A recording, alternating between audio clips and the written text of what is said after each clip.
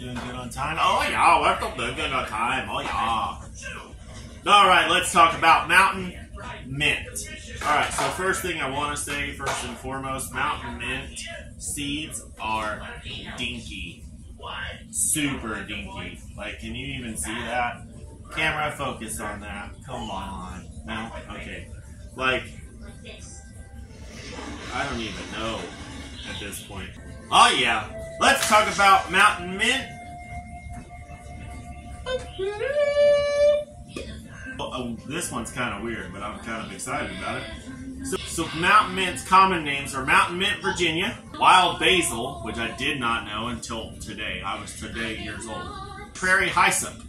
I don't know what prairie hyssop is, so if you guys could let me know in the comments below what a prairie hyssop is, that would be awesome.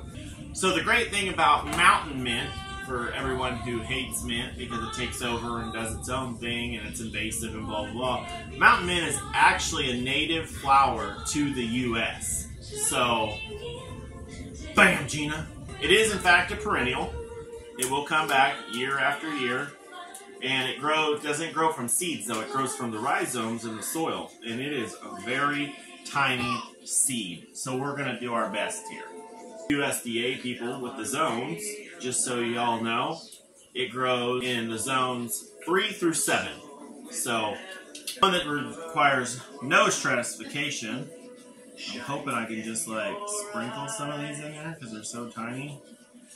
I think that was some seeds in there. Everybody has like a great idea on how to deal with like these super tiny seeds. I'm gonna like get really close to you guys. Hopefully you can see it. Uh, my light's a little bright for it, but anyway. So the only sun requirements for mountain mint is it likes full sun or partial sun. So it's like pretty perfect plant for garden bed. It grows to be about 36 inches tall, which is still kind of tall, but not like me tall. You know, it's not six foot.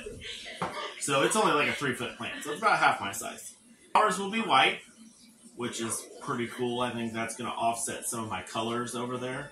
So these will bloom in early summer, late summer, early fall. Medicinal, it attracts pollinators, butterflies, honeybees, and they use it as an aromatherapy.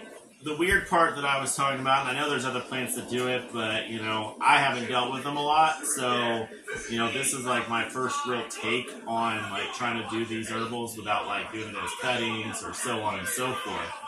And uh, so these ones you actually don't want to cover with soil. It needs sun to germinate. So we're just gonna let them. We're just gonna do what I just did. I'm gonna leave it like it is. I'm gonna give it a misting, and then you know when I put the dome and everything on there, which I this did not come with a dome, so I'm gonna make my own. It's gonna be a little janky, but it'll get the job done. Sorry, that was Bob. So yeah, the real trick to it is to keep them moist and not to cover these guys, which is, like I said, is kind of cool. So I'm just gonna lay down some more water here. Get them a little damp, let them seep in. And yeah, we're gonna give them about 30 days to germinate and get ready to rock. All right. Well, if you guys want to see the updates on where we grow these and how we plant them and transplant and everything else, go ahead and hit that subscribe button, and we'll see you there.